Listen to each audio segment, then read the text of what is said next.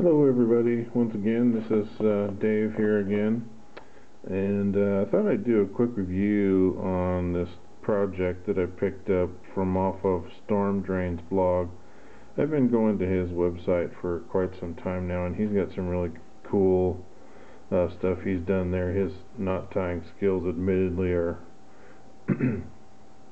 superior to mine but I get some pretty good ideas and he does some really cool projects. The guy's really creative and um, he had a project on there that he was calling woven and half-hitched paracord pouches and he had some pictures that described how he he did his um, pouch but there weren't a lot of pictures and the instructions were difficult to follow and I'm on the road so I wasn't able to print them off and I just had time to glance at them and then I did this pouch later in the day when I was away from my computer but had access to paracord and my tools so um, I made this as a uh, neck pouch. I call it my swear pouch. I'm making an effort to stop swearing so every time I uh, let off a, a nice curse word. I open up the little pouch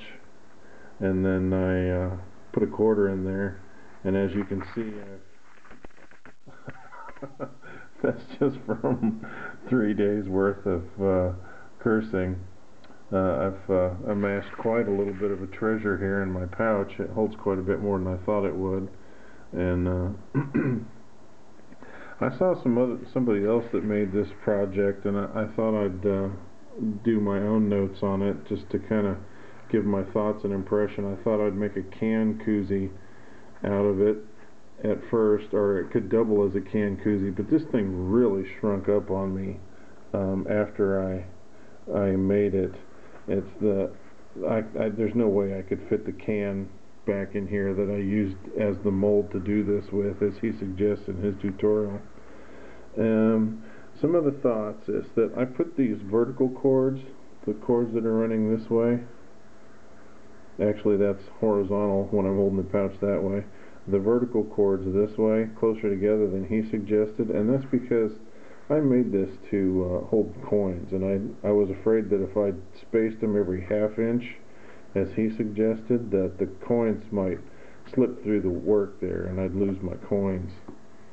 And also my half hitching on the bottom isn't, uh, it, although it's very functional and it works pretty good, I've never done that kind of half hitching before and it doesn't look as neat as his work so that'll require a little bit of um, thought as to how I could improve that and I'm going to make another one and I'm going to do a video tutorial on how to put it together so that uh, anybody else that's interested in will have a little bit more detailed instructions on how to put it together.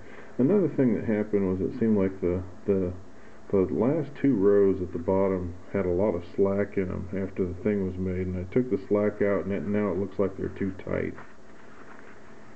And if you're going to use this the way I did it and and actually put a drawstring on it and put any kind of um, tension on that string. It seems like it tends to make these loops at the top come loose and it also scrunches the rest of the bag down tighter. And the effect is to kind of not you can kind of see how the knots are all scrunched up together and it's not quite as aesthetically pleasing as a, uh, a regular bag although it's still completely functional and I really like it and enjoy it so far. I've also put a, a breakaway lanyard on here. This thing will pull apart pretty easily so I bought a bunch of these lanyards that uh, that uh, snap together and break apart. So it's kind of a safety thing so that if you get this caught on a piece of machinery or something it wouldn't break your neck. This this little breakaway thing will break off pretty easily. Um, some other thoughts were that um, I used he suggested putting a, a pin in, uh, on the can to put some extra um, tension or to for some slack and uh, to pull the pin out after you got the string all wrapped around the the bag. And I did that and the whole thing fell apart. So that didn't work for me. And I had to keep the pin in there and to, and then sew or start wrap do the do the horizontal wrap. And when I started doing the vertical um, strands this way I'd push the big I started off with a fat marker and then I'd push a smaller pin through and then a smaller one until I was all the way done with the project. And that seemed to work pretty good. Um, but I got some ideas on how to improve that for the for the video I'm going to make on how to do this. Um, other than that I'm real real happy with the way it came out and um, it's been a useful little gadget and if I keep uh, cursing as much as I have I'm gonna fill it up fill it up in no time.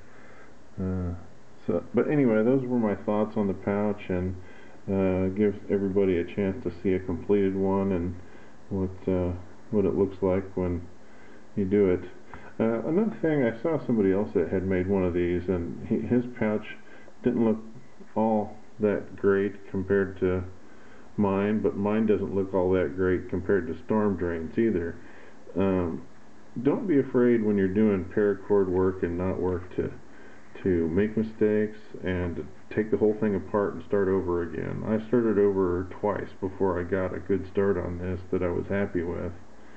And I'm not completely happy with the way it turned out, although I'm, I'm you know, it did turn out to be functional and it's it's good enough for everyday use and, and I'm, I'm like I said I'm happy with it.